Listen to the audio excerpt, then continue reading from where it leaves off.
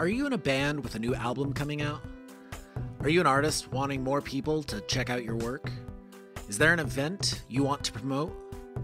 Do you own or run a company that sells a cool product or service? In Defense of Ska gets over 10,000 unique downloads each month. If you're interested in advertising on the podcast, we offer very reasonable rates and can help with the production of the ad. The ads are dynamic, meaning they will be placed on every episode for a given period of time.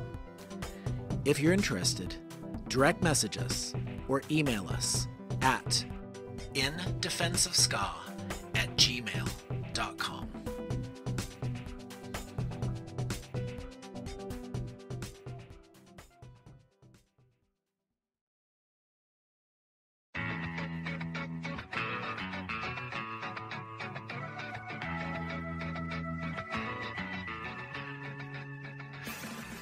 Before joining indie rock heavyweights The Hold Steady, accordion slash keyboard player Franz Nicolay saw many a ska show at the Wetlands in New York.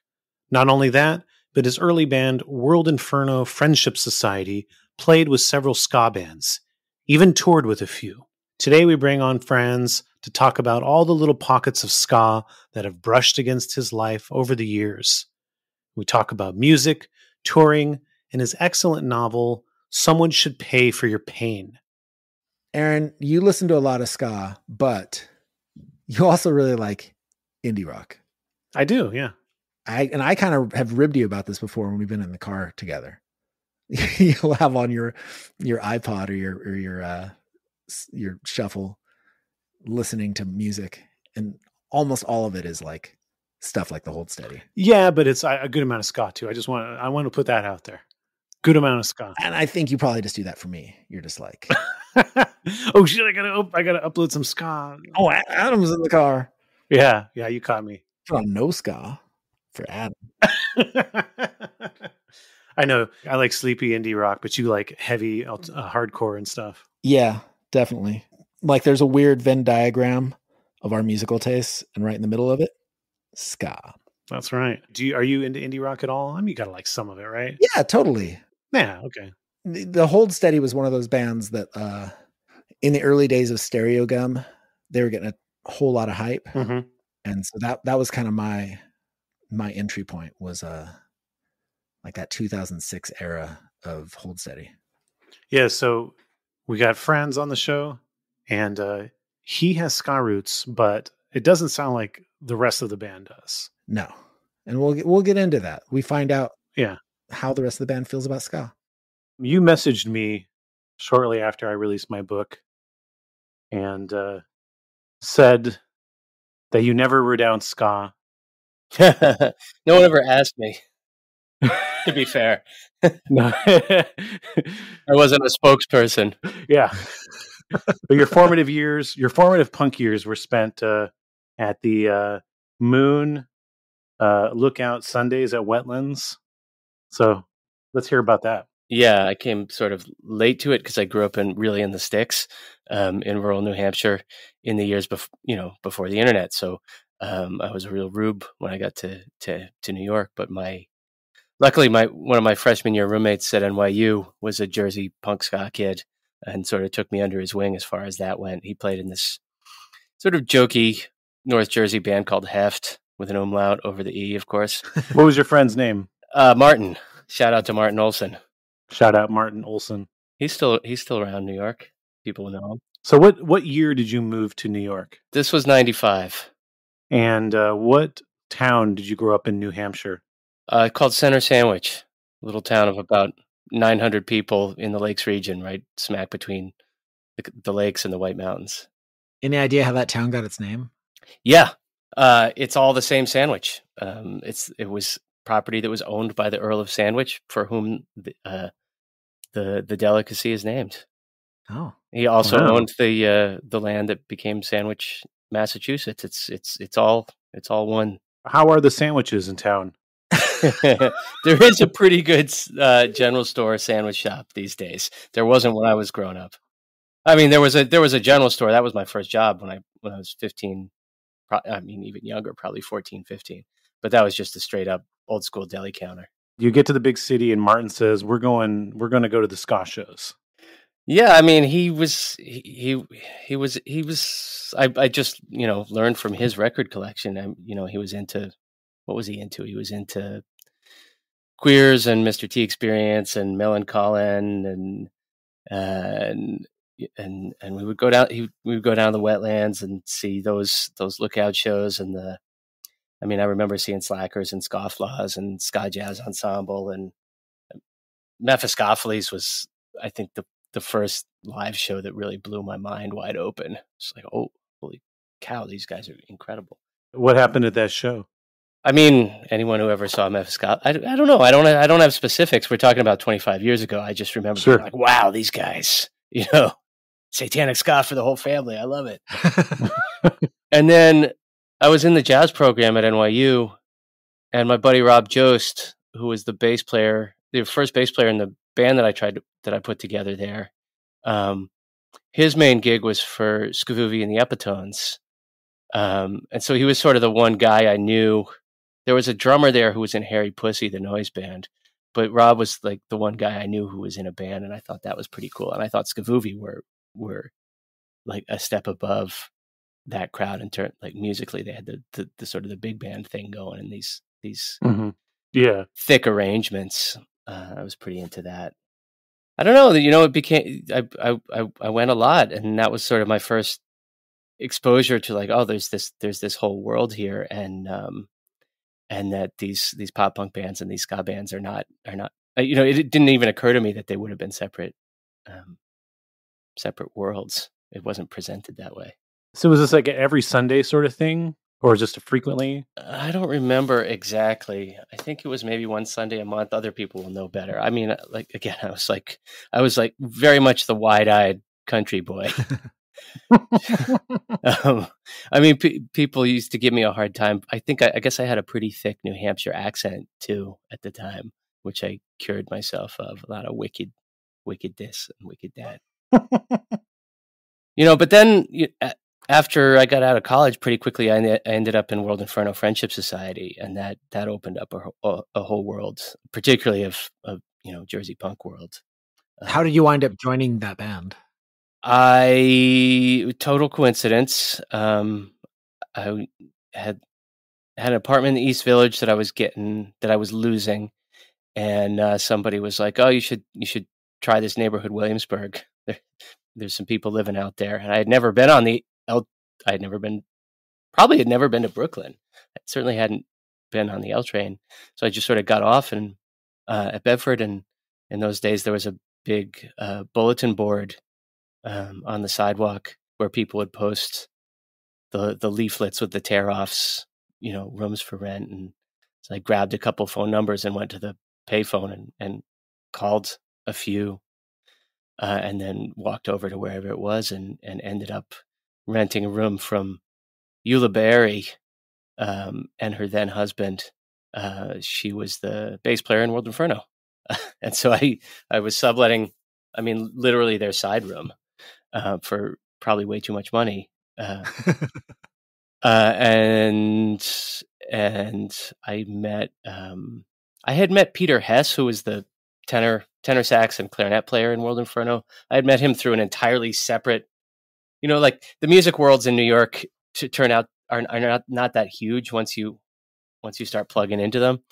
Um, he was playing sax in a band that I was playing guitar in, and I recruited him for this chamber music composer performer collective that I was putting together called Antisocial Music. And then um, one time I was just hanging out at, at, at Eula's place where I also lived, you know, cooking spaghetti or whatever. And he came by and I was like, Oh, you, what are you doing here? So, Oh, I'm recording these clarinet parts with Eula. We're in a band together. Uh, it's called World Inferno. Uh, oh, that's interesting. And then um, that first you know, Halloween came around and it was like, oh, my band's playing this Halloween, this big Halloween show. You should come. And I went by myself, and that really blew my mind wide open. I had definitely never seen anything like that. That that would have been a Hallowmas 2000. Um, and her her telling of it is that I didn't speak to her for a couple a day or two afterwards, and she thought, oh my god, he hated it. I think I was just hungover and probably couldn't leave my room. Um, and then, but I, I said that was amazing. You know, I play I play keyboards, and if you ever need anybody, uh, let, I, let me know. And she immediately went to Jack because I, they they weren't happy with their keyboard player at the time, and and you know within weeks I was in the band. When when you think back to that show, what's I know it was a while ago, but just what's the mental picture when you think about that show?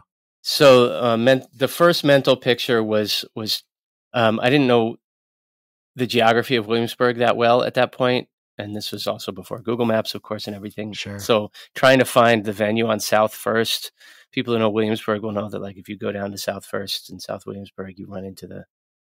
I'm I'm again like don't don't have it at top of mind right now. It's been a long time since I lived there, but it doesn't connect. Like it, it, it there's a highway in the way, and so I got really lost trying to find the Good Bad Art Collective. Um, but I found I eventually found my way there, and um, the first thing I saw was they had set up this um, uh, gibbet, the cage that you hang from from someplace, and you would you would put the pirate up there and let them starve to death and the body decompose. uh, they had hung a gibbet, and Dan Bailey, the baritone sax player, was up in there dressed as a zombie pirate. Um, and and I went in and I saw, you know, luck, Lucky. I think the guitar player was dressed as a he was in a bee costume and Peter was in this Soviet army outfit, and Jack was Jack, and it was he was blowing fire, and Semra was setting fire to the cymbals and I was, I was just, I, I again, kind of like with the Mephiskapheles experience, I had just never seen anything like it. Um, and then yeah, and then and then and then joined the band a few weeks later, essentially. Nice. I mean, this was this was also a band that had a three piece horn section, and we played in suits. So, the, well, I would never call it a ska band. Other people definitely did. yeah, any anytime you have a horn section, people want to try to claim that it's ska. At that point in time, for sure. I mean, we had a couple of ska songs, like "Night in the Woods" is a ska song. "Our Candidate" is a ska song. Dan had fronted a ska band down in Denton, Texas, called the Grown Ups before he came to to Williamsburg you know, we were ska friendly, but it definitely it definitely right. had a lot more to do with Dexy's Midnight Runners and Oingo Boingo than it did than it did with ska bands. Yeah.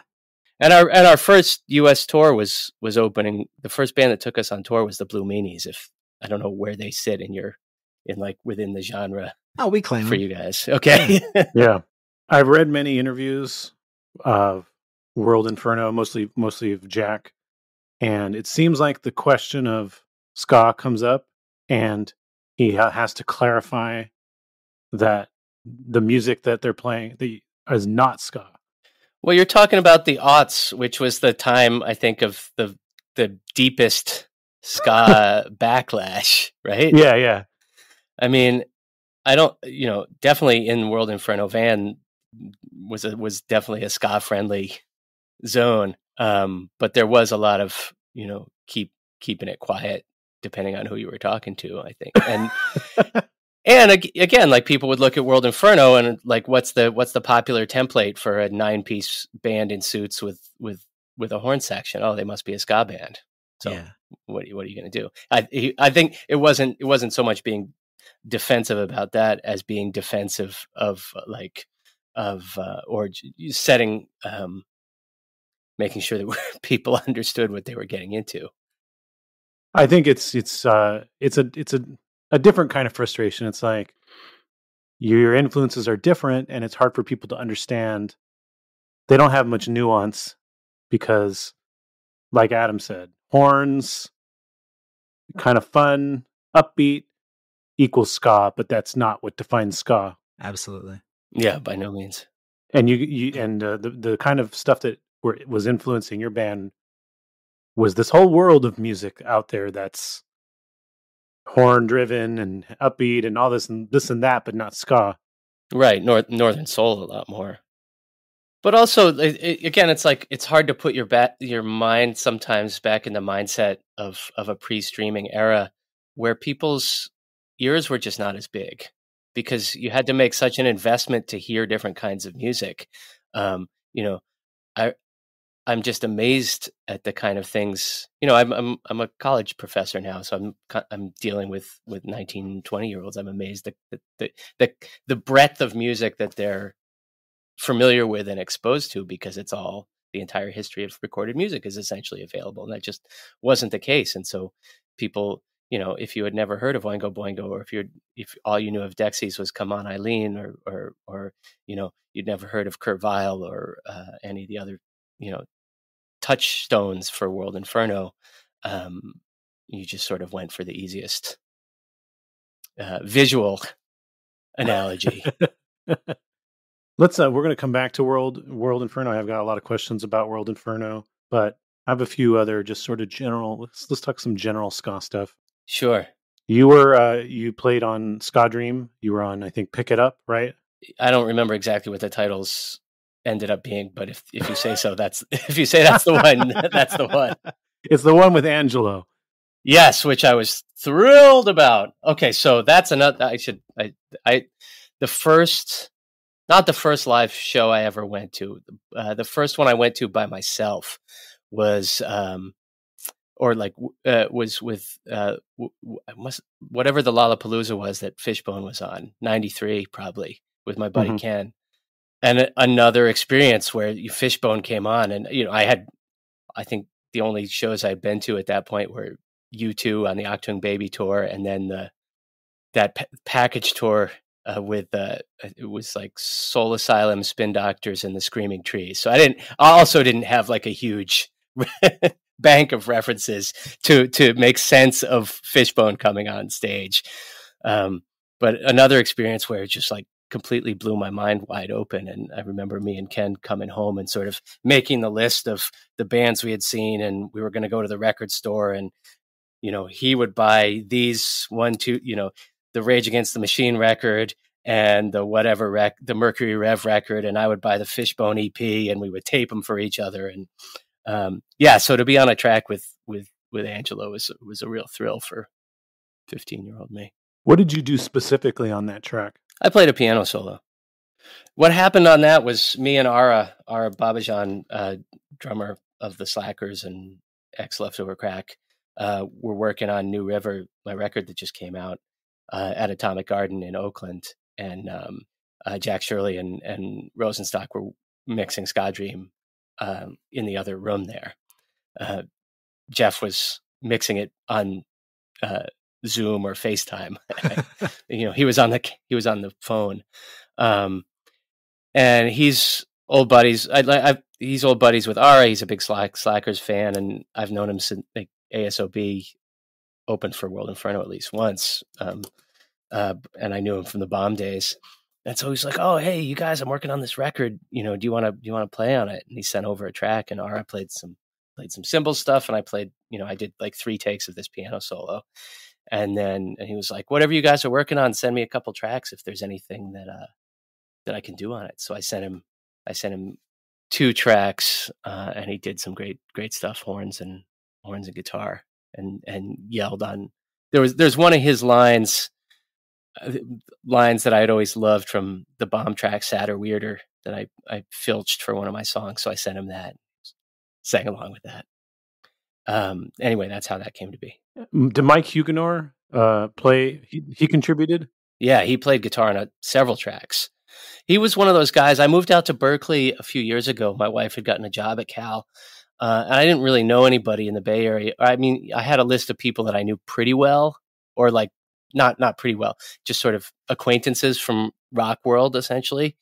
But a lot of people I knew had moved out of the Bay Area because it wasn't. It's just not that friendly to creatives uh, at that point. A lot of people had moved to Sacramento or they'd moved up to the Pacific Northwest. But uh, Jeff, he, I guess it must. It was either when Laura opened for a Hold Steady show or when or when Jeff did. Um, I told him I was moving out there. He was like, "Oh, you should connect with Mike Huguenor. You guys, I think, have a lot in common. You know, you're both book people, like literary people." Um, and so I reached it. I mean, it's true, you know. Yeah, yeah. I know uh, Mike. Yeah. yeah. So, so we met up, and sure enough, hit it off. Um, I immediately filed it away of like, oh, next time I do a record, Uh, and Mike's Mike's solo record I really liked. I thought it, it was super interesting. Um, this like indie rock, Sonny Sharrock kind of thing. Like, uh, Yeah. uh, um, let's just say, you know, obviously this is a guy who has like a really interesting musical mind. Um, in addition to being, you know, smart and intellectual and and curious. So that those are always the kind of people that I like to work with. So I immediately put filed that away of of you know if I next time I do a record, I got to get Mike to come and to come and play on it. Um, you know, and then pandemic logistics being what it was, I ended I recorded it with you know a real stripped down rhythm section of of with Ara on drums and and Frank Piegaro from Warriors and Star Fucking Hipsters playing bass, and then and sent sent the tracks over to Mike. Essentially, anything you think, you know, go to town on it, fuck it up, go nuts, and and he did. Like both the the the squalling noise stuff in the middle of the the, the jazzier track, and then these very sort of beautiful uh, uh, melodic stuff on some of the other tracks. Great musician. So you're, you know, you, you've worked with uh, Ara for a while on different things, been friends with him for a while. I love Ara. He's one of my best friends. Um, again, like books, book people in the rock world, we gravitate towards each other. He told us, uh, he told us that that's uh, how he, that's how he passed the time on tour is reading books. Yeah, I mean, I did too. Once, so I started touring with World Inferno in 2001. I think was the first tour, and you know, the first couple of years of touring, it's so exciting. You're going to places you've never been to before, meeting people. You know, there's a lot of partying. You're in, especially in that band, a lot of chaos and and hijinks and um. But you know, after your second or third or fourth time at a place, the excitement of that wears off, and then especially once I was really intensely on the road with the Hold Steady, um, you start looking for other things to do with your day. Um, and one of those things for me was was going to use bookstores and and particularly especially in those first couple years I'm thinking of like 05 06 um i was picking up you just go through phases. I went through a graham greene phase i went through an elmore leonard phase you know these books that are widely available in used bookstores but are also you know give you, you uh, give you a, a reliable you, you know what you're getting and you know that it's going to be good um and then I started picking up old showbiz biographies um, uh, or memoirs, you know, sort of old actors, vaudevillians, performers from the, the teens, 20s, 30s, um, just to sort of, as by way of making sense of my this life that I wasn't then living and planned on doing living for some time if I could make it happen. You know, being away from you know life at home was going on without with, without me. Uh, my you know friends were moving on with their lives. Um, and and and I was trapped in this I was in this in this van.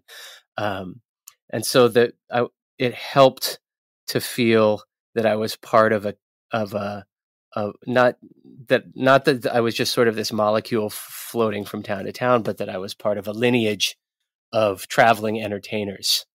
Um, that these you know these stories of Gypsy Rose Lee or Jimmy Durante or whoever going town to town doing the vaudeville shows um, were essentially the same experience, um, and that that added up to a meaningful life as a performer.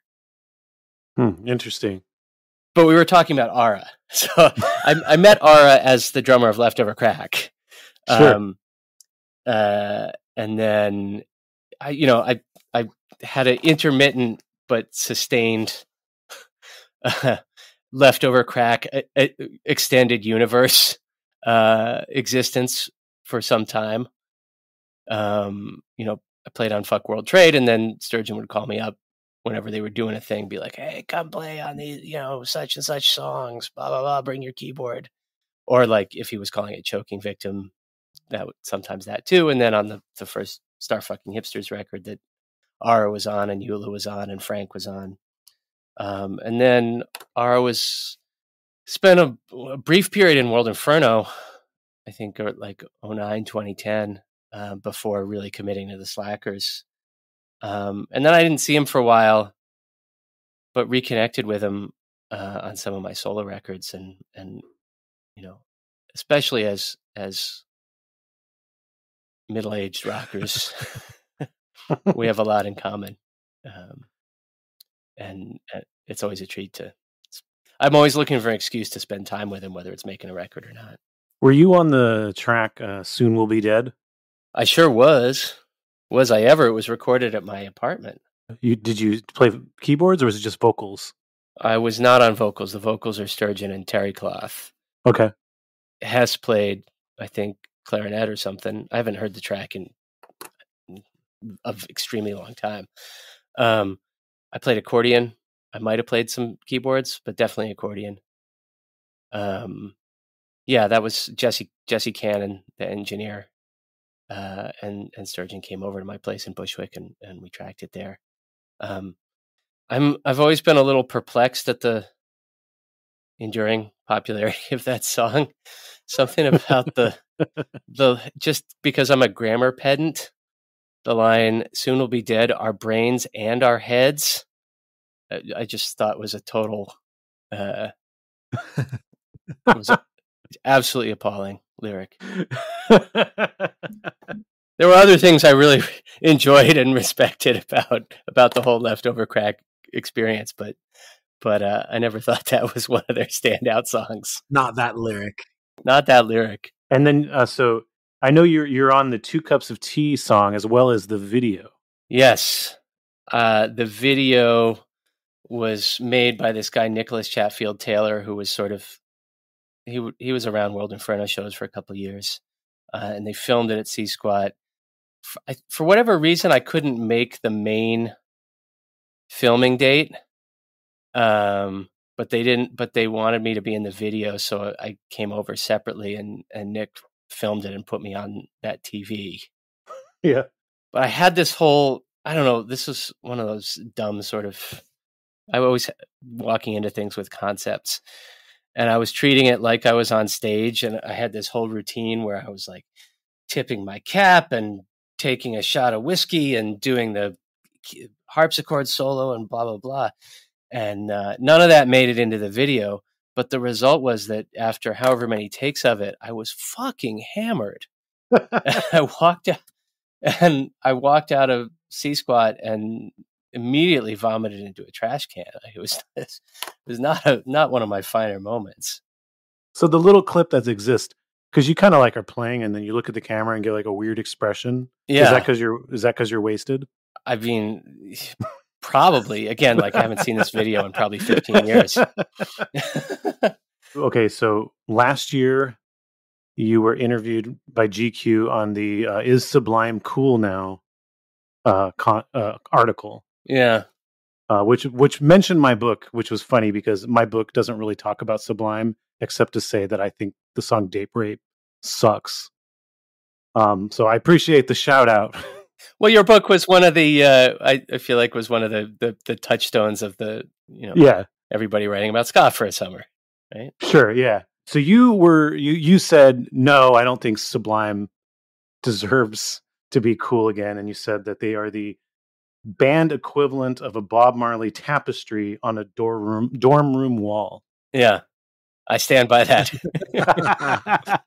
I mean, look, there you know, it's a generational thing, right? Like people people get to their early 30s or whatever and they start taking the reins as, you know, editors at these culture um, outlets and they're looking for things to to you know people start pitching them they're looking for things to write about and it's I I understand the impulse to revisit the enthusiasms of your youth um, and and maybe rehabilitate some of them and that that's constantly happening and it, you know I understand why that happens from a media ecosystem point of view, but I don't think it's always justified from a musical point of view.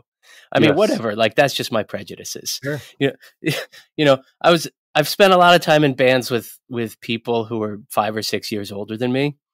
And so, for example, you know, I was enthusiastic about ska in the '90s, uh, but Hold Steady guys were a little, old, you know, were a little too old for that, and so I sort of kept that to myself.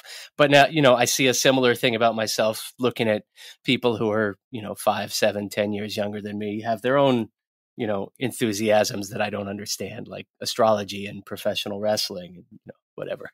Uh, it's just part of the nature of things. Side question: Where does Craig Finn stand on ska? I think he's basically not a ska enthusiast. Okay. But you'd have to. I wouldn't want to speak for him. Okay. I think most of the indie rockers I've met of that's that roughly generation were were basically ska skeptics. It's certainly '90s ska skeptics, with the exception of Ted Leo. Good old Ted. Yes. Good old Ted. I mean, some of where I'm coming from is that I am also an indie rock enthusiast. And that's why I never understood why my two passions were to ever meet in the night. Well, I have a th- I have one theory about it, which is that so much of the aesthetic of that '90s indie rock thing was about not dressing up. Sure. Okay. Right. Yeah. So, like the, the the dressing up for that generation of people was, you know, whatever whatever junky thrift store clothes they went to sleep in, and and pretending that they weren't performing. And this is the this is the attitude that always drove me absolutely berserk about it as someone who's like I believe in performing. I believe like there's an authenticity in the performance. Yeah. And and I also believe in like not acting like you're not trying. you know, I'm like sort of an anti- intense and ambitious and and hands-on guy and so these like, "Oh, I'm not are, am I on stage? Oh, I'm just, you know, I'm not even I just I'm improvising this song or like, "Oh, this song I, am not even trying." It made me absolutely crazy. Um, but I think if the, if you had internalized that aesthetic to look at uh, groups that were openly enthusiastic about what they were doing, for example, um, was just uncool. Yeah, definitely. Okay, so you you were voted by Dying Scene as the number one punk rock accordion player, mm-hmm. which I guess is, you still hold this title since it hasn't been they haven't had another tournament. Yeah. One of my most treasured, uh, I don't know, bullet points on my CV. You even uh, uh, you outranked uh, both Eugene and Yuri from Gogol Bordello. Well, Eugene doesn't play accordion, so, so yeah. Well, he, I mean, he was on the list. I don't, you know, I don't know whatever reason. They're just guessing. Like, he looks like he plays Yeah. accordion. I mean, I think I earned it. You know, Yeah. I think you earned it. Although I'm going to say this is a controversial opinion. I think there should be a rematch with you and Weird Al yeah. I mean, I'll I'll I'll accept that. because I feel like Weird Al is a punk at heart, Yeah, and he's one hell of a accordion player. So James Fearnley, you know, give it up. Also, yeah, yeah, sure, Weird Al, absolutely. What's not to like? I will say, I went to I went to see Weird Al recently. Mhm. oh yeah, I had never seen him before. Um, but he's, you know, respect. You know, I, I, I interviewed Lily Hirsch, who wrote this academic study of Weird Al, and it really got me thinking about him in a way that I hadn't before. And he was playing in Poughkeepsie. My wife and I we just thought we, we should we should go. This guy's a show business legend. I love going to see show business legends. You know, almost, just from a, a professional curiosity sometimes too. You know, you want to see how do they come on stage what's their walk on situation like how does how does the show work and my and i think we were a little disappointed you know with caveats i think it was the first day of a very long tour that had been um that had been postponed by the pandemic. Uh, he was playing all all all originals his originals. Mhm. and you know Yeah. he's famously like a, a he wants to get it right. Um and i think my impression was that he was anxious about the show. He like obviously hadn't settled into the, the groove of it and and that's probably some of the enjoyment that he projects later in a tour um wasn't wasn't quite there yet I didn't get to see him on the the tour you're talking about, but I saw him right before the pandemic. It was the same concept. He was doing the original, so this is like part two of it. But I've also seen him a handful of times in classic form, where it's all the parody hits. the huge production I gotta say that the classic form is the best, the my top show I've ever seen because it is the most entertaining live show I've ever seen. It's like two hours long. It's got costume changes. It's got video clips in between songs, sometimes at the same time. It's like I've I did not feel bored one second, and uh, never felt like I needed to look at my phone. It was like so thoroughly entertaining. Like talk about a person who understands that they're entertaining and performing and really gets what people want. Yeah, I've heard that about the about the big production show. I should I should probably give it another another shot. The original stuff, uh, I th- I liked it, but it was definitely not at all comparable to the classic, you know, parody production. hmm I can see how that might have been a little disappointing for your first time. yeah. I got the impression too that he kind of was doing that for like because he's got some hardcore hardcore fans. Oh my god! I mean, the the fan base watching was incredible. This I don't think this has really been talked about enough. I feel like this is this is the topic for a really good article. You talk about uh, diehard fans. Weird Al has the most diehard fans. They'll go to every year. They know his material backwards and forward. I think he was kind of doing it for them. Like, you know, they've seen him every year. They they are debating his, you know, the, the his different material online. So this is more like a here's deep cuts for you. I don't think it was for the first timer for the like Weird Al curious. Yeah, I get it. I get it. Yeah. Well, good for him. You know, I respect. I have a lot of respect for him.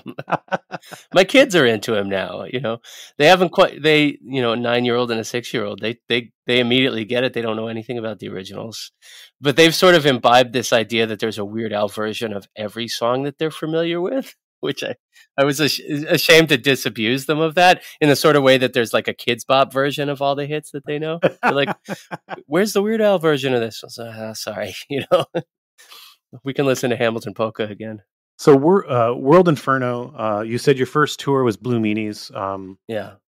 we're we're we are friends with Blue Meanies, and uh, w- one of their members, Sean, he gave me their tour diary. He just it was we were just hap- happened to be in a conversation about unrelated to World Inferno because it was the, it was their last tour because they they basically fell apart during that tour for a number of reasons. One of them being that their label dropped them. One of their members quit. Uh, I mean, those are the main reasons. That'll e- either one or both will do it. so I was re- so he sent he's like, "You want to read this?" And I was reading it, and I this is before I was even preparing for this interview, and I saw, oh, World Inferno joined this partway through this tour, somewhere like I think in the South or East Coast or something. What did he say? I'm dying to know. There was one. So Billy, the the singer in the Savannah show, talked about um, Jack blowing fire and telling the audience, "I shot Reagan, and I'll do it again and again." hmm yeah, he used the Suicidal Tendencies song as an intro to uh, the song, our song, Secret Service, Freedom Fighting USA. So there's a whole story which everyone's heard who who knows the band has heard a million times. So I won't tell it here. And uh, the other thing about that tour, I'm curious your perspective. That tour is just fraught with illness. Like everyone, according to this diary, everyone caught the flu. Um, Dropkick Murphys were, were on the headliners and was like hospitalized. The bass player was hospitalized from the flu briefly. Billy was like extraordinarily sick. Do you remember? Did you guys get sick on that tour? I got sick on every tour. I mean, really, Yeah. I'm not exaggerating. That's just part of being sick. Uh, I mean, part of being on tour, especially at that level. You're just, you're, you're, you know, with World Inferno, it's like you're rolling ten deep, and you're sleeping. You're showing up at somebody's house. Like, no, you're you're sleeping on a floor. I mean, you're really sleeping on a floor, and in a room with eight other people. So you're never getting enough sleep. Everybody was drunk all the time. You know, we were we would start passing the bottle line around in the van. I'm not saying that to to brag or or whatever. That's just the way it was. Um, to sound romantic. Um, uh, and so just you know, your immune immune system was absolutely decimated. Uh, and then you know you're in a room full of strangers every night, so of course, of course, you're sick. I, I don't remember.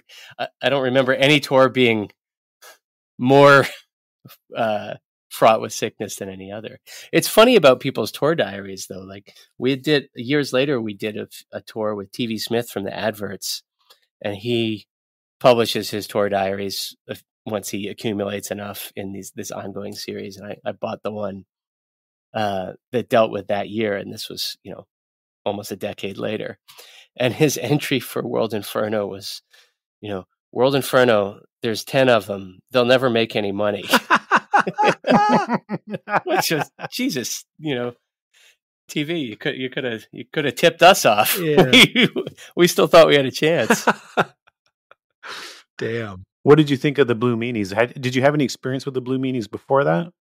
I didn't. I thought they were amazing. I mean, again, like I was still sort of wide eyed at everything. Yeah, I don't have any anything pithy to say about it. Uh, great band. Yeah, uh, great, great horn players too. Yeah, absolutely. And again, like a similar, like not that there are that many bands who did what World Inferno did, especially at that time, but they weren't that far away. Yeah, uh, you guys make sense together. Yeah, absolutely made sense. You know, trying to think of other, you know, the Kings of Nothing. I guess if you remember that band from Boston, we're doing sort of a similar thing. Mm-hmm. Um, not that many. I mean, people didn't have horn sections at that at that point. This is 2001, early 2001. Yeah. This tour. Later that year, 9/11 happens. Yeah, we were in Germany. Oh, okay. And I think not too long after 9/11, you guys play in New York, and you invite arrogant sons of bitches to play open for you. Is that true? It's true in that Jeff told me for my book that before 9/11, they kind of had a little bit of a hiatus. They were kind of not taking it too serious. You know, the band was kind of losing some steam, and then there was, you know, 9/11 itself had sort of an impact on him. But then you guys inviting them to open for them also was a was a kick in them to be like, this is an awesome show. We got to play the show to kind of get their stuff together. That's cool to hear. I don't remember that one. I remember them opening for us in Long Island. I'm looking at my show history, but that was years later. Mm-hmm. I think. I mean, I I think that was 2000. Were they? It couldn't have been 2006 they were broken up by then. Mm-hmm. They kind of slowly broke up, so um, they, there's a chance they open for you. They they still kind of petered out with some reunion shows and some we still need to pay off our credit card shows. I think maybe somebody who's listening to this can confirm. I see here that World Inferno played the Crazy Donkey in Farmingdale in 2006, and I, in my mind, ASOB opened for that show, but I could be quite wrong. But that's nice of him to say that. I will say in return that um, there have been in my life two bands that I that I sat down and wrote a fan letter to, uh, people that I didn't know, but I just thought their records were so good. Uh, and the first one was to Against Me after I heard uh, Reinventing Axl Rose. Um, mm-hmm. I wrote a letter and sent it to to No Idea. Um, and the second one was uh, to Bomb after after uh, my friend Emmeline gave me a copy of Scrambles, uh, and I was just like, "Wow, this is incredible!" You know, it was the first it was the first record that had given me that feeling in in a in a bunch of years. Um, and and I just emailed cold emailed Jeff and um, and got a really nice response, and ended up playing a couple shows uh, with them. Not not in the band, but like my solo act opening for them, sort of thing. Yeah, yeah. So you didn't really know Jeff, even though ASOB open for um, World Inferno? No, I didn't. I didn't. Um, I didn't put it together that he was the same guy until much later. Mm. I hmm. thought I thought Bomb was was this new band. Uh, I, I I I didn't connect it um, to ASOB until later. Yeah, Scrambles was actually my entry point to Jeff's music. I um I had that had it had that effect on me too my friend Bob showed me the record and I couldn't believe just how disjointed it was, but how well it worked. Mm-hmm. And how they how he would just wedge in like ska like a ska verse or just an electronic break or whatever made no sense at all. Uh, and it was like so it was done so deliberately and almost like defiantly. Um, but it like did end up working perfectly. Yeah, I mean he's a great composer. Uh, yeah. Uh, the, the the track that got me was Fresh Attitude, Young Body because it has that piano rock thing Yeah, that yeah. is core, obviously, in all kinds of ways to my musical identity. So, uh, um, so uh, I'm always happy to hear people doing that. Um, and that was just it's just such an exciting track. I mean, it was just makes you want to like punch through the ceiling. I did a I was on a, a solo tour around it couldn't have been much more around must have been around that time and I was doing a guest DJ thing down in Charlottesville this like sort of perfectly nice you know rock station and I put that song on cuz I thought I I had sort of come to assimilate that song as like basically a, a pretty straightforward Springsteen holds steady esque song with rock song with piano on it. But I guess it does get pretty blown out towards the end, and uh, and they're they're they got some complaints, and the DJs was like, "Whoa, what was that?" sort of thing. I got in trouble. wow. I know that's weird. That song sounds so normal to me too. Yeah, I mean, especially in the context of his catalog, it's pretty accessible. I guess we, we have a different barometer. Yes, like our our our normal our, our normal line is like probably way over here, and so that's like oh, we're on the we're on we're over here. It's it's right on normal. Yeah. So 2002 World Inferno, you guys went on tour with um the Independents. Oh my god, boy, have I got yeah. I I've seen Independents play. I actually saw them play in their la- uh with Joey Ramone, Yeah. which was the last. Are they still at it? Yep. I have no idea, and we haven't really talked about them much on this podcast. But uh I think they're a good band. So let's hear let's hear your Independents stories. So this was probably the most ridiculous, which is really saying something. This was the most ridiculous Inferno tour of of my time in the band. Um, we did a tour. It was a U, it was a full U.S. tour, but it was in different legs. And the first leg was about ten days from New York to New Orleans, and we did it as a package. It was World Inferno, it was the Independents, and it was the Robocop Kraus from Germany, uh, this band that were our friends from there, who went on to become pretty popular over there and came back to the States opening for Art Brut when Art Brut was a headline act. Um, they- anyway, they never they never really broke through in the States. Um, They were cool though. They were really like kind of weird angular stuff. I mean, very much in that in uh, that of their time, like suits and skinny ties Yeah. and and angular guitars, and sort of like if you like the Hives, you would probably like RoboCop Sure. Kraus. Although RoboCop Kraus had much better lyrics. Uh, they were re- actually really great lyrics, considering it was a English as a second language band. Yeah. Um, those yeah, those records are. I would encourage anyone to to revisit those or visit them for the first time. Um, but they had never been to the United. They had never toured the U.S. before. Um, and they were sort of like clean cut, nice German boys. Um, and they had, especially their their merch guy that they brought with them was was very wide eyed and very shocked by everything he was seeing. Um, how do how we connected with the Independents was Semra, our percussionist, was dating this guy who was playing bass for them at the time, and so she was like, "Oh yeah, you know." We'll we'll hook up with the Independents. They'll headline in the South. We'll headline in the North. It's going to be awesome. They say they do really well down there. Well, that was not the case. um, uh, but I will say this for them: they partied like they were Motley Crue. I mean, they acted like they were Motley Crue. Uh, you know, they were like Myrtle Beach people, and this they had this guy playing this much older guy. He seemed much older at the time. He was probably in his forties, maybe early fifties.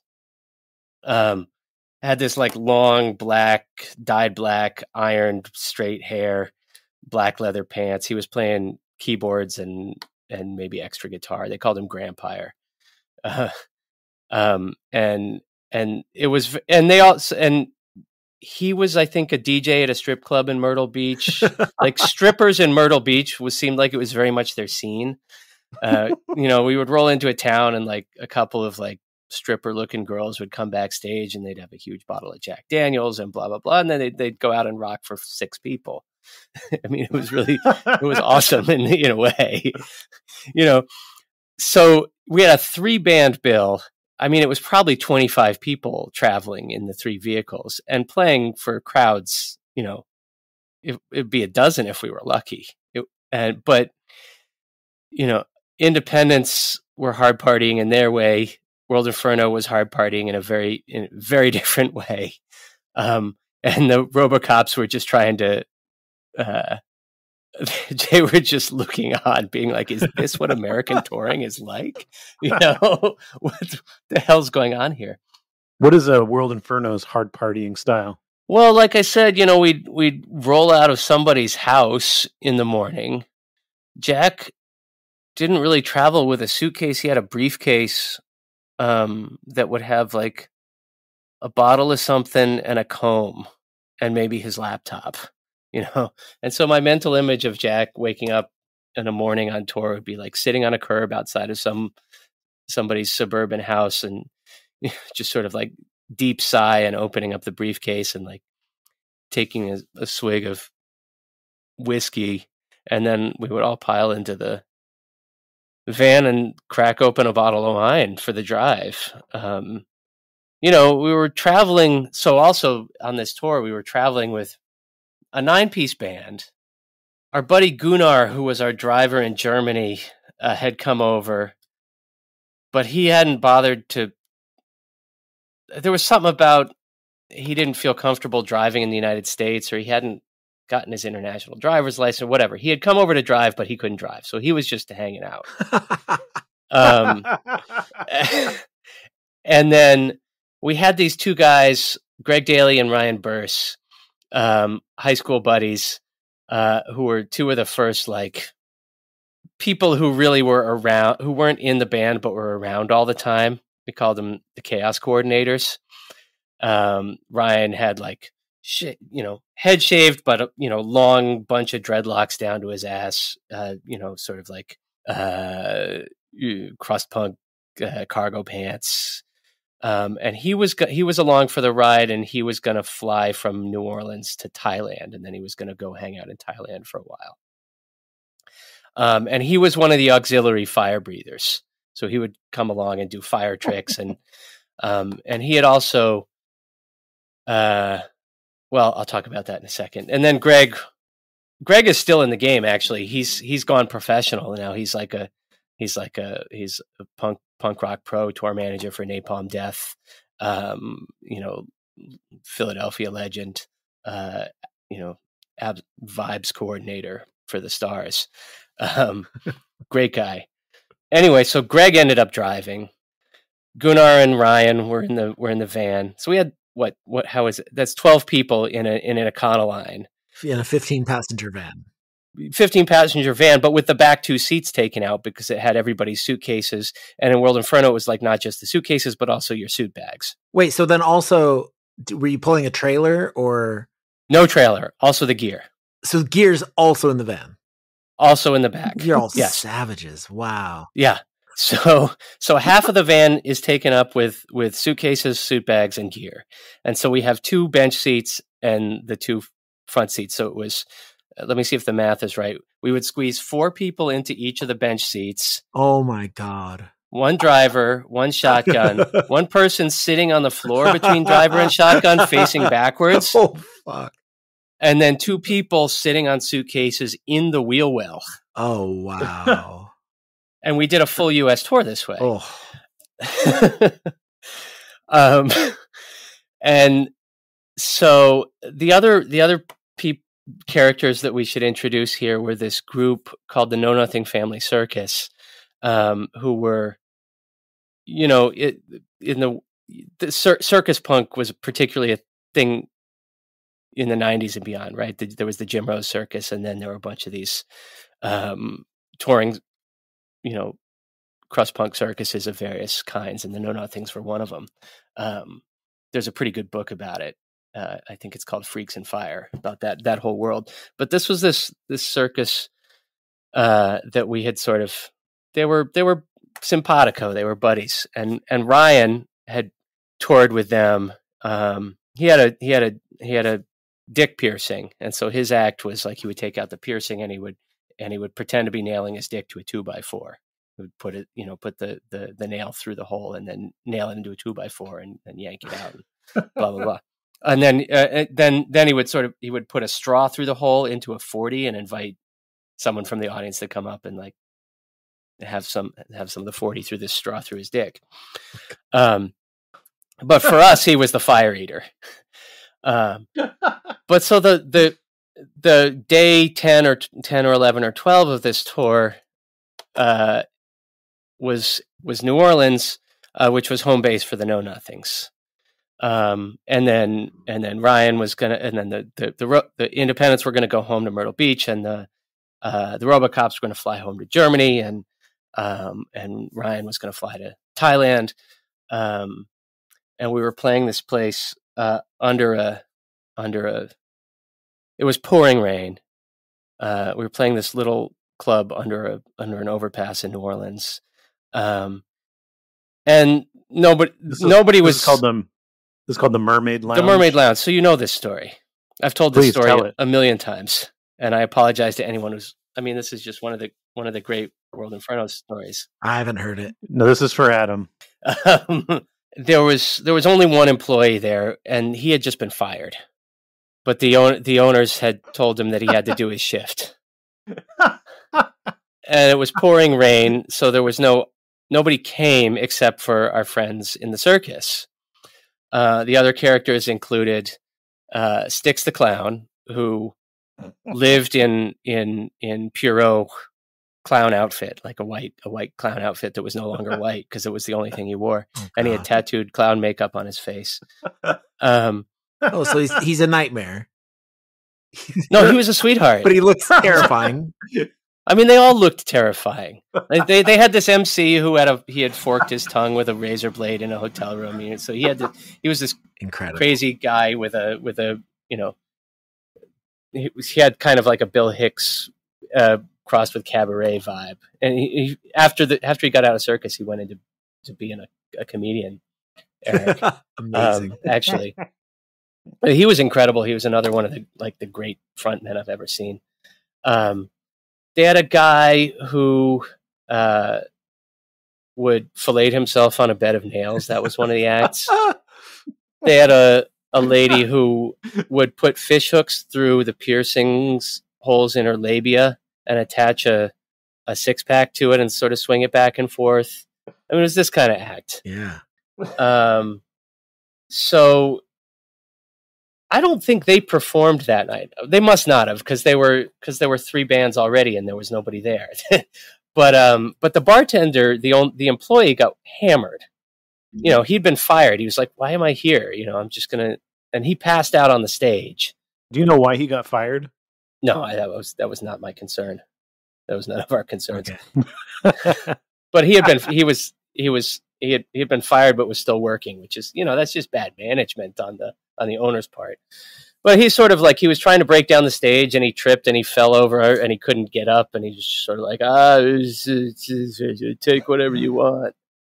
And so the and so the Independents guys got behind the bar and they sort of lined up every shot glass that the bar had across the front of the bar and started I mean it must have been 50 shots worth of whatever they were pouring into it and there were other drugs in the mix and uh, and it was pouring outside and all the windows were open and it was just like it was like the end of the world you know? You're in new orleans and there's no other people for miles around except for these lunatics that you're that you're trapped in this bar with you know?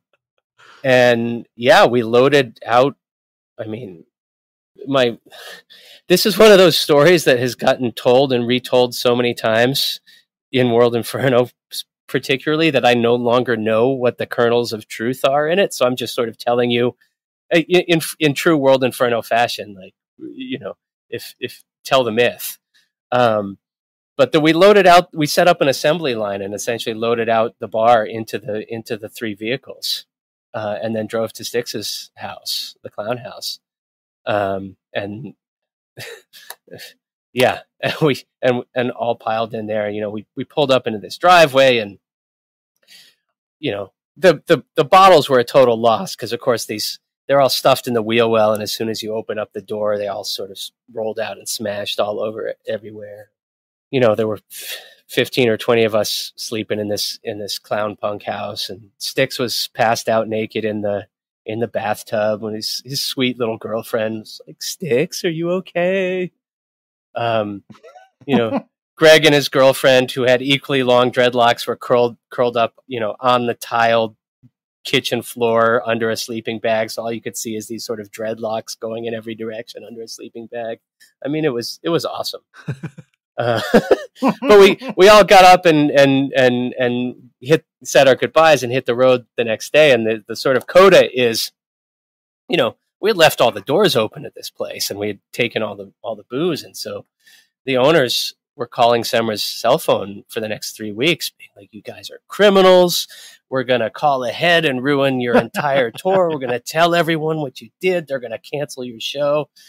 Uh, you know, she's, she's long, these long, furious voicemails, and of which you know nothing ever came. uh, but yeah, that's our that's our story with the Independents. I mean, we had nothing, very little in common with them, but, but we shared this bonkers tour. I, I, hope they're doing okay. So, um, I want to talk now about your uh, most recent book. Um, Someone should pay for your pain. Am I saying the name right? Yeah, yeah. Okay. This is a novel you wrote. Uh, it was published in 2021. That sounds right. Yeah. Not this is your second book, but your first novel. Second book, first novel. Yeah, the first book was called The Humorless Ladies of Border Control, and it was about the punk underground in the former communist world between uh, Eastern Europe and, and Mongolia. Oh, okay. I haven't read that book yet. It's on my list. Can you tell me if you uncovered any ska? in in the humorless ladies. Uh, yes. No, no, no ska bands uh, that I ran across. I don't think. Okay. Okay. Back to someone should pay for your pain. now, so this book's about a um, aging touring musician who sort of has a, you know, a, a cult audience, a small cult audience, but the the audience that he has is you know really loves his music but it's not enough to really sustain a real career so he's touring by himself and kind of eking out a living um, used to be in a like a bigger band that was kind of like local mm-hmm. stars that could have had that potential to get bigger but you know kind of fell apart and then uh, there's also a um like a protege that gets much bigger so i feel like you know you're you're talking a lot about touring and you're talking it's it's got a pretty dark tinge about how rough touring life is and how you know as an artist or musician you kind of you're sort of chasing relevancy and, and relevancy is very fleeting so i'm i'm curious a little bit about um you know i think i feel like touring you know it's come up several times in this interview that seems to be a big point of this book um I, I, so i'm curious about that but but specifically the darkness or the loneliness of it well, it is lonely and it is tough. I mean, it's physically tough. Um, people have trouble with their hearing. They have trouble with their hands. They get, have substance abuse problems. Um, you know, it's it's a little bit thankless uh, ex- a lot of the time. Um, you know, it's hard to it's it's hard to see outside the bubble when you're in when you're in the bubble. Um, and I would meet people sometimes who seemed like they were trapped, that they had sort of. Aaron Cometbus uh, has this image in his last issue, uh, which is called um, I forget what it's called, but it's about it's about sort of revisiting the the, the punks of his generation and the ones who who made it work for them and the ones who didn't. Um, he has this image about like you're running a marathon and all your friends are alongside you and you're all you're all doing this work together and it's hard and it hurts but you're all you're with them and it's and and and um and then you you're just running and you keep running and all of a sudden you turn around and you're the only one still running. And all the everyone has sort of peeled off and and gone to do something else.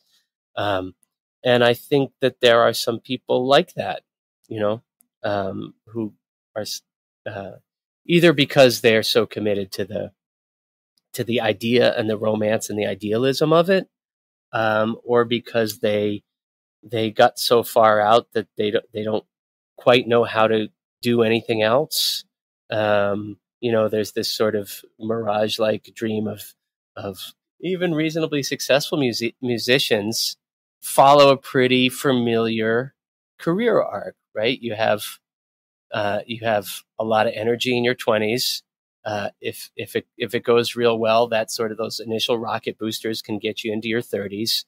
Um, for most people, I think there's a there can be a long fallow period, you know, in your 40s and 50s, even, but with this idea that one day you'll be rediscovered or that you'll um, that the you know the attention will come. You can be in Omenos Greece.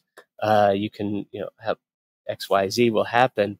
Um, but that you don't know that that's going to happen, and in the meantime, you're really going through it, um, and that's that's sort of who that character is. I mean, when I was doing that kind of touring, I still had I wasn't that character. I had a lot of I had a lot of energy. I was really you know I was putting out my email list. I was like giving it all for the five even if I was playing for five people. But I could see, uh, I wrote it as sort of like a, I, I conceived of it as a little bit of a cautionary tale. Like this is, if I, you know, if I kept doing this, I could end up like this.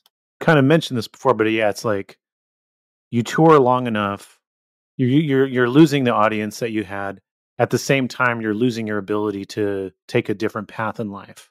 Well, sure. I mean, the the hole in your in your CV is getting wider and wider. Mm-hmm. I mean, I, I definitely had that experience. My first my first child was born, and I sort of kept touring for the first year or so. But it was became obvious that it was going to be unsustainable and unfair and and and a little selfish. You know, I could make a living touring by myself because my expenses were low, uh, but it was premised on volume. I would, you know, I was playing 200 shows a year or more, and just to be doing that wasn't fair to my wife or my daughter or, or, or myself. So it's like, okay, I, you know, I gotta, I gotta reinvent my life. Um, but it wasn't that easy. I couldn't, you know, um, my wife and I sort of, she got pregnant and we are like, we, we're gonna, I guess we'll both apply for jobs and whoever get, gets the job first will be the person with the job. Um, and and I just and I didn't realize how hard it was going to be. I hadn't had a day job at that point in a decade, um, so it took a couple years to sort of reinvent and and and build that framework back together. It's really tough. What was that first day job back? Well, like everyone else, I got I ended up getting a bartending job. Mm. You know, because what else are you going to do? Mm-hmm. um, and I I hadn't bartended in twenty years either. But you know, you can go into food service. I knew how bars worked. Obviously, I knew how to mix some cocktails. My jobs when when I before I before the hold steady took off were not food service or bartending jobs. They were they were office jobs. I worked. I had an advertising job. I worked in for nonprofits, classical music nonprofits. I worked for Bang on a Can, the the new music organization. But that sort of thing, you know, people who are in the in the nonprofit world stay in the nonprofit world. Yeah. You know, and the the people my age had sort of moved up the ladder, and and I I couldn't I was too old to be taking entry level jobs of that sort. In fact, they weren't even, they weren't even considering me really. They, you know, even if I would have taken that job, which I would have. Um, I, I remember having one interview where the, you know, I was trying to sell it as like I've been on the road for ten years.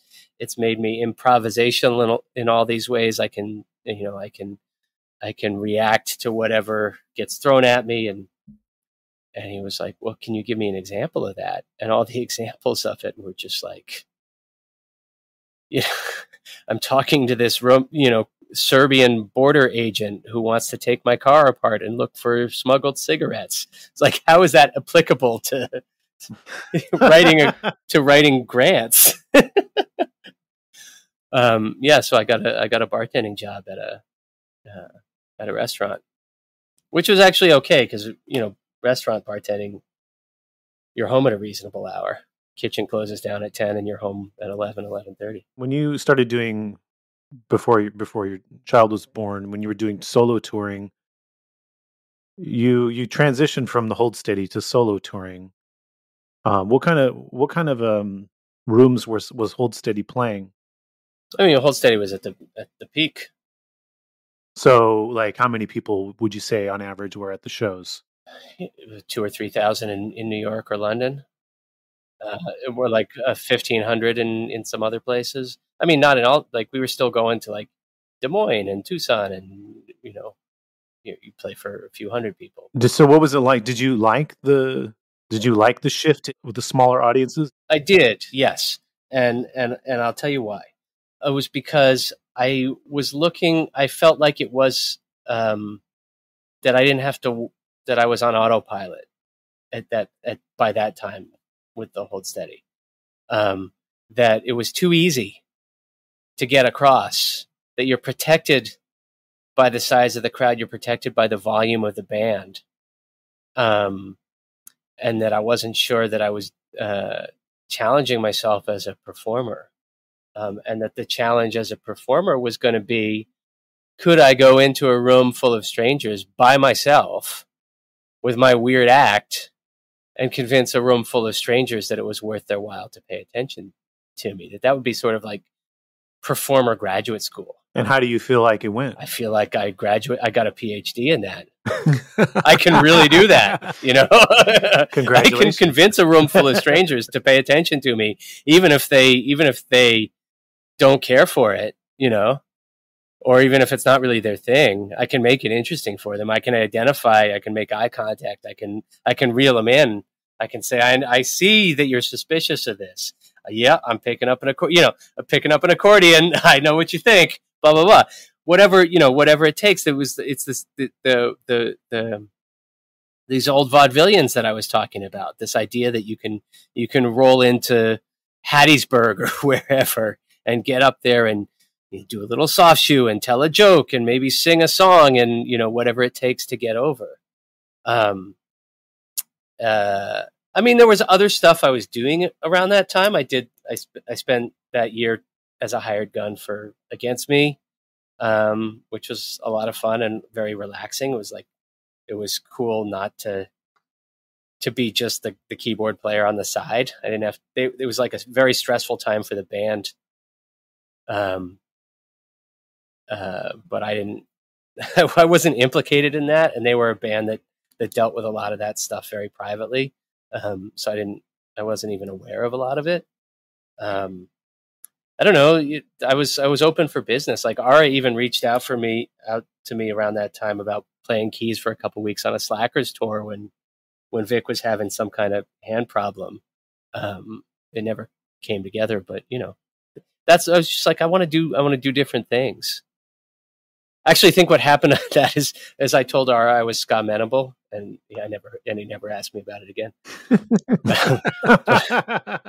uh, uh, I don't know. I was I was excited to, and also, I mean, again, like some of this stuff is people who've who've heard me talk about this time have have heard some of these these spiels, but um, I had run into Matt and Kim that band. Mm-hmm. Uh, they were friend old friends from like the you know Brooklyn DIY days. Uh, and they were on there. We ran into each other on an airport, as as you do when you're on the sort of touring circuit with people occasionally. They were on their way to Alaska. I was like, "Oh, that's cool. What are you doing in Alaska?" It's like, "Well, we wanted to do a go on vacation in Alaska, so we just booked a show up there. It's totally backlined, and then that gives an you know then we can write off our whole vacation as as a as a business expense, and we use the money from the show to to pay for this vacation. And that's a little light bulb went off. It's like, well, there's all these kinds of places that I want to go. You know, maybe World Inferno, there were too many people to make it worthwhile to go, or like Hold Steadies, you know, didn't really have any foothold in in in Europe particularly.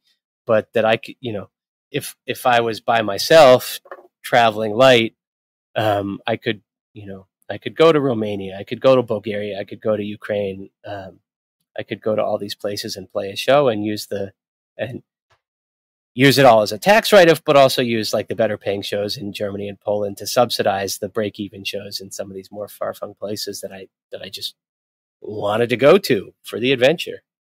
In your book, um, as, as even though the there was a darkness and a loneliness about it, the character's experience, I feel like you kind of wrote about the the car trips between gigs in a in a more favorable light.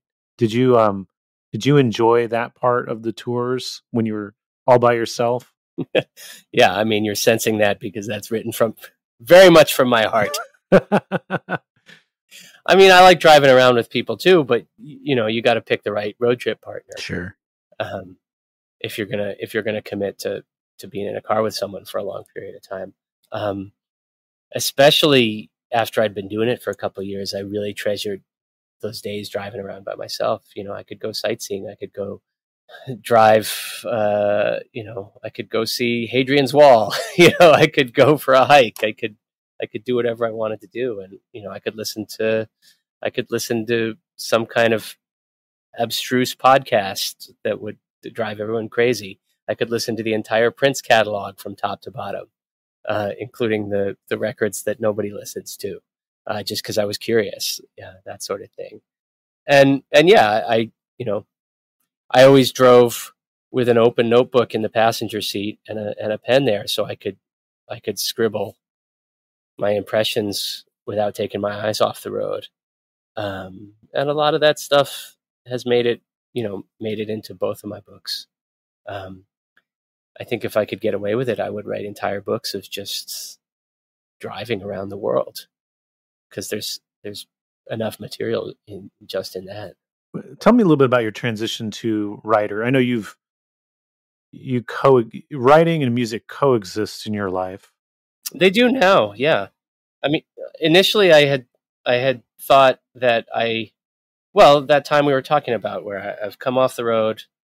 It was really hard for me. I'd only ever identified as a musician. I'd only ever wanted to be a musician, um, and so to to confront the idea that that might not be part of my future was brutally difficult and the only way i could deal with it was like by by throwing down a hard barrier and saying okay i'm no longer a musician and that's just how it's going to be you know it's you know a little bit like if you're if you're trying to get sober and you just like you, you don't say i'm going to have i mean I, I think some people do but the, the the standard line on is you can't say well i'm just going to have a glass of wine on the weekends. You have to say no i that's just no longer it's off the table. And so and so that's sort of what i i did. Um i said i'm going to stop i'm going to stop hustling. I'm going to stop trying to book shows. I'm going to see if anyone notices and that'll be useful information. You know what i mean? Mm-hmm. um, if nobody cares then that's then that's good to know. Then, then i know that it's just been me trying to push this thing. Um, uh, and then and then I thought, well, I'm going to go back to school. It's either going to be, it's either going to be, I'm going to follow up this writing thing and pursue another financially irresponsible creative career, but one at, le- at least I can do from home, um, or go get a library sciences degree and be a, be a librarian. That had always been sort of my dream alternate job. One of those classical music nonprofits that I used to work for had a scores library that lived at the performing arts collection at uh, at Lincoln Center, and part of my job was once a week to go there and dig out some of these scores and copy them and send them to members. And I just it was such a blissful, quiet, alone time um, that I always, you know, my friends who are librarians tell me that it's not actually like that, but this romantic idea of just being like being like alone with books uh, really stuck in my head. Um, and I had started teaching. I had sort of started teaching as an adjunct at Bard College, and I, I sort of liked it. Um, but I needed a degree if I was going to really do more of it, um, some sort of terminal graduate degree. Um, and my wife's an academic, so it made sense for me to try to get a job where our s- schedules matched up um, in that way, and where my job could travel with her job if she was if she was getting, if, you know, if she if she got other job offers. Um, I've sort of lost track of the thread of the question. oh, writing. Writing. Uh, I, yeah, I had been writing. Uh, you know, I'd been keeping tour diaries all along, publishing them in various forms here and there, writing various articles, and just sort of ex- writing longer and longer pieces until it seemed like it was. I had sort of put, done a chapbook of short stories which was put out. Here's a funny coincidence by the same guy who did the Sublime GQ article that you referenced earlier, Jay. Diamond. Mm. Is that how? I mean, so I guess he, you guys were friends. Is that why he interviewed you? He, we've been friends for for a long time. He interviewed me for a magazine. We met because he interviewed me from around my first solo record.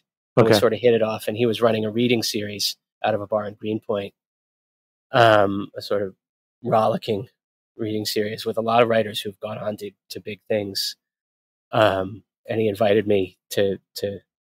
He did one that was like three minute rock and roll stories, like come on and tell your best tour story, and then one that was like, and then and then uh, one that was more of like a short story reading that I wrote something for, and then he was trying to.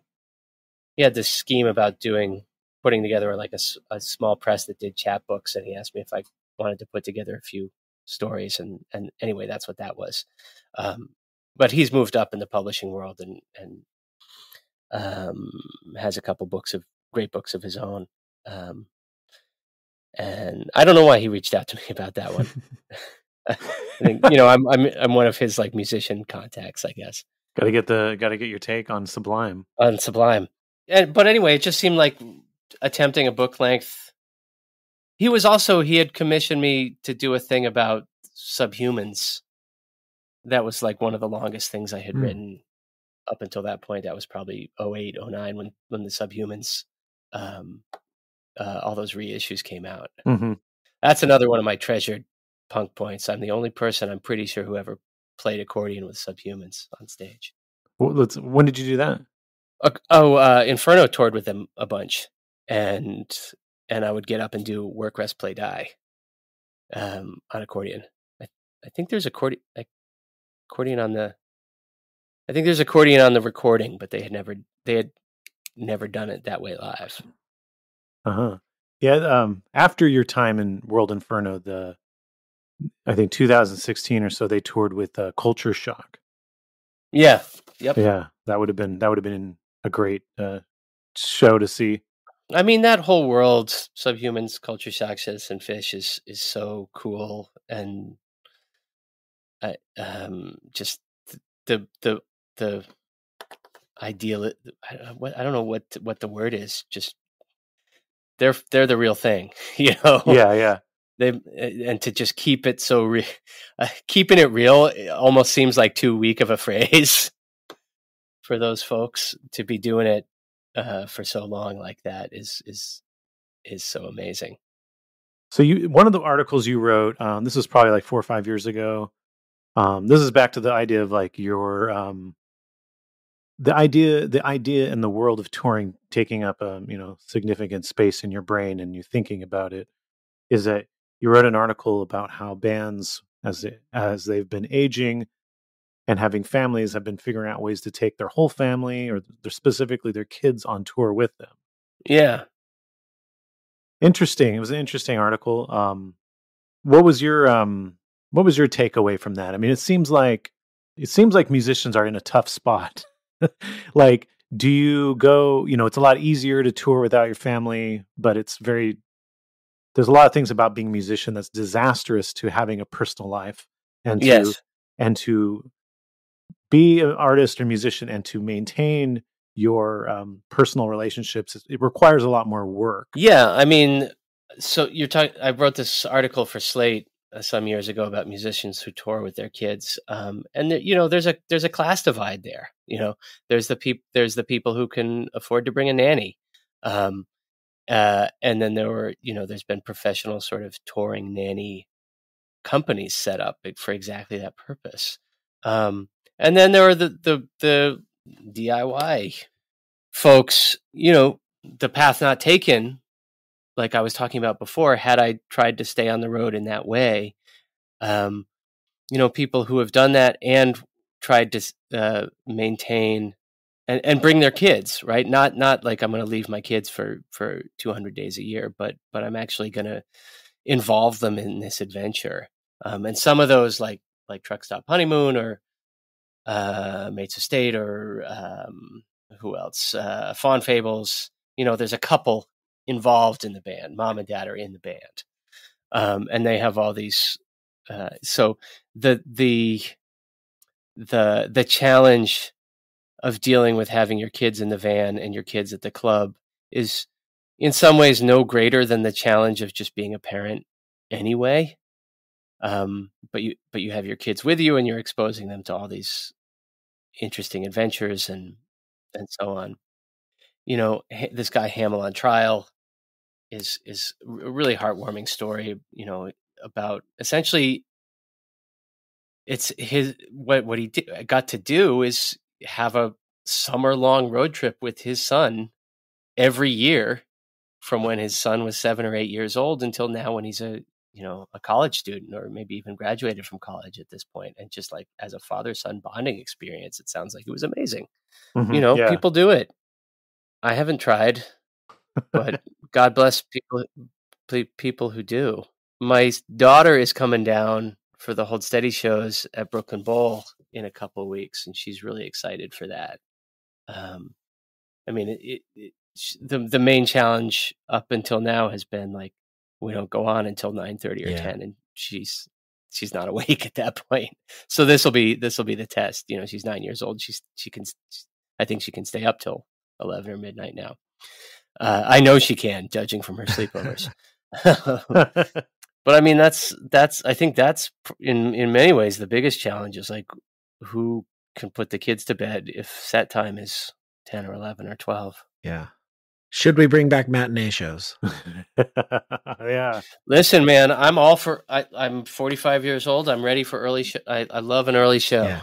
Uh, the UK has this tradition from the days when the the bars, when when last call was at 11, I think 11 or midnight, where you know shows at seven, shows at 7:30, shows at headliners at eight, um, and they've still sort of, re, you know, last call is much later now but they've retained this uh, this sort of vestigial sense that the show starts early. Um, and I, I love that because then you can go out afterwards. You know, er, early show after party for anybody who wants to stay up all night. Yeah, you want to rage, you want to hang out at the bar, you can do that after that. Get a DJ, yeah. Headliner at eight, show's over by 10 you can still go out for two hours and be home at a reasonable hour like i don't know why yeah I don't know why more American uh, venues can't can't get on board with that. They just want to keep keep people there as long as they can and keep them drinking as long as they can, and they they think that people will leave. I don't think that logic makes no, sense. I don't though, either. If the show doesn't start till nine, you know that they're just not going to get there till nine. Yep. Eh, whereas, like, if you okay, so the show's over at ten, you can keep the bar open if people don't want to leave. Yeah, this way it's just the show ends and they want to kick everybody out. Yeah.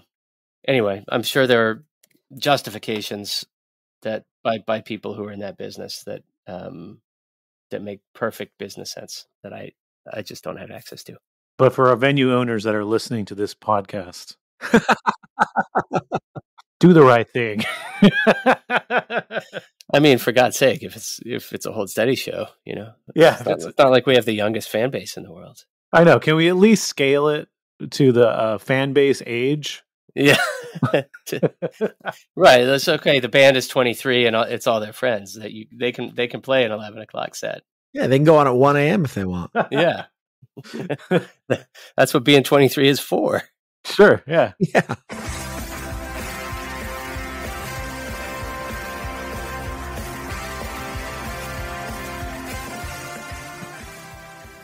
Thank you so much for listening to In Defense of Ska. If you've enjoyed this episode, please like and subscribe to the podcast wherever you normally stream or download episodes. If you haven't already, grab a copy of my book, In Defense of Ska, available at clashbooks.com. You can follow us on Twitter, Instagram, Facebook, and TikTok. It's at In Defense of Ska. And please consider joining our Patreon at patreon.com backslash in defense of ska. You will get monthly bonus episodes, extended interviews and commentary per episode, and access to the In Defense of Ska Discord. In Defense of Ska would not be possible without the great team that tirelessly works on it every week. So you should go check out their other projects as well. Co host Adam Davis has an amazing band called Omnigone. Give them a follow on Instagram and Twitter it's simply at Omnigone. And our editor, Chris Reeves, has a phenomenal record label and podcast called Ska Punk International. For more information, go to skapunkinternational.com. And if you've ever enjoyed one of the highly specific in defense of ska memes floating around the interwebs, it was likely the work of the bands I like only charge $18. Find them on Facebook, Instagram, and Twitter. On that note, we leave you by saying ska now more than